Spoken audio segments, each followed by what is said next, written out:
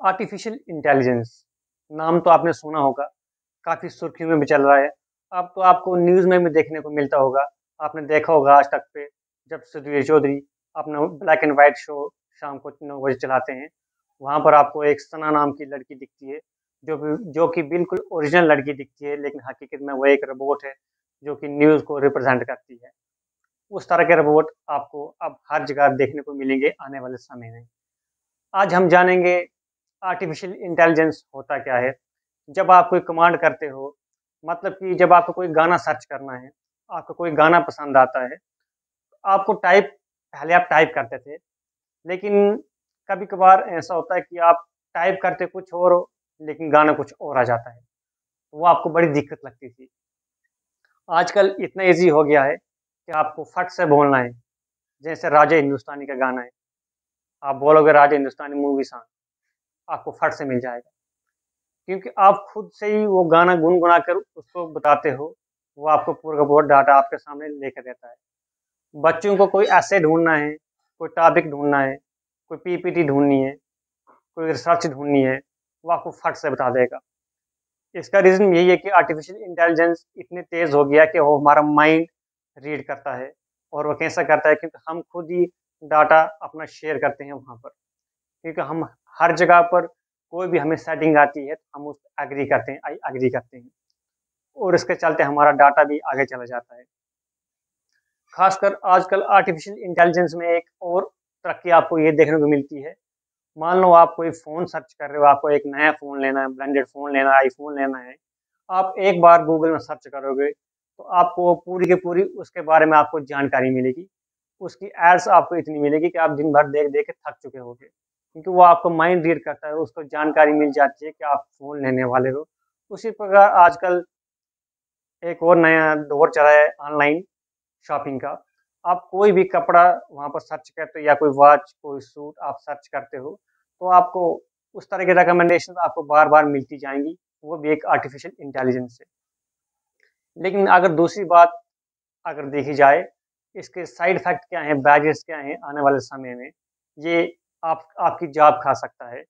क्योंकि अगर अगर आप काम करने में ढीले पड़ जाते हो तो जो मशीन उन्होंने नई बनाई है, वो तो थकती नहीं है। जैसे आपने सना को देखा होगा आज तक में, वो कंटिन्यू बोलती जाती है और हर एक लैंग्वेज में बोलती जाती है, बिना किसी दिक्कत से। क्योंकि वो तो एक रिबोट है, वो उसमें सेल्स लगे हुए हैं बैटरी लगी हुई है और वो कंटिन्यू चलती रहेगी, जब तक उसके सेल चलते रहेंगे।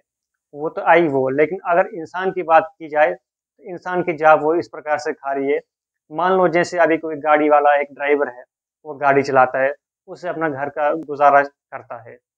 लेकिन आने वाले समय में एक ऐसी टेक्नोलॉजी भी आ जाएगी आर्टिफिशियल इंटेलिजेंस में, शायद से अभी है भी, कि जैसे आप फ़ोन में गेम खेलते हो, आप उसमें हैंडल घुमाते हो और आपकी गाड़ी चलती है। तो उसी प्रकार से आर्टिफिशियल इंटेलिजेंस इस तरह की तैयारी कर रहा है कि आने वाले समय में ड्राइवर की ज़रूरत ही नहीं पड़ेगी।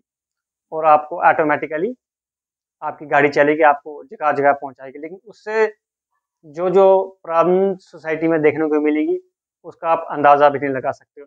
मान लो आपको कहीं दूर सिटी में जाना है या किसी हॉस्पिटल में जाना है एमरजेंसी में, अगर आप साठ की स्पीड में जा रहे हो, लेकिन आपको ये भी मालूम कि दूसरी साइड से भी कोई गाड़ी आ सकती है, कहीं और से कुछ और हो सकता है। लेकिन जो आर्टिफिशियल इंटेलिजेंस होगा, उसके माइंड में तो यही होगा कि मुझे फलानी जगह पर इतने समय में पहुँचना है। और वो आपको पहुँचा के छोड़ेगा।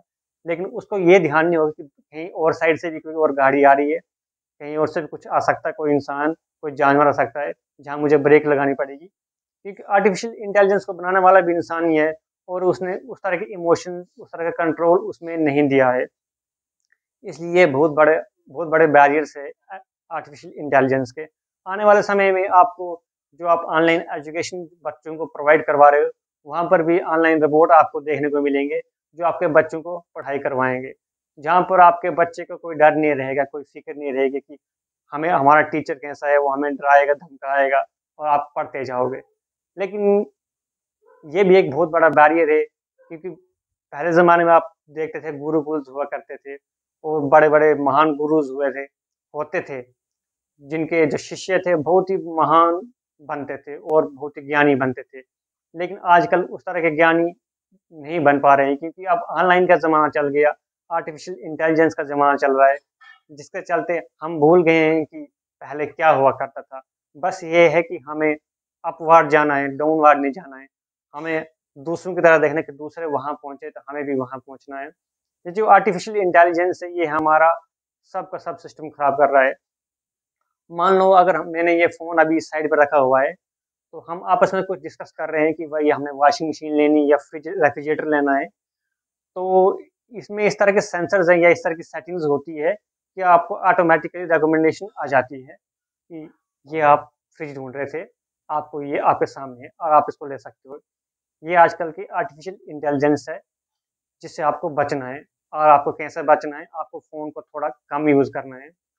जितने ज़्यादा आप इसके पास जाते रहोगे ये उतनी आपको, आपकी लाइफ को स्पाइल करता रहेगा।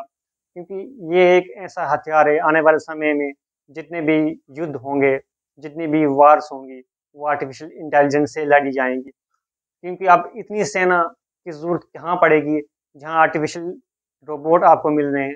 वो अगर एक पॉइंट एक बटन दबा के आपको कहीं बम गिरा रहे हैं तो आपको और क्या चाहिए? आने वाले समय में ये बहुत बड़ा फैक्टर है जो आपको देखने को मिलेगा। इससे भी बचना है। इसे कोशिश करनी है इस आर्टिफिशियल इंटेलिजेंस से थोड़ा बचा जाए, इसको प्रॉपर तरीके से यूज़ किया जाए, नहीं तो ये आपकी जान के लिए भी हानिकारक है और आपके बच्चों के लिए भी।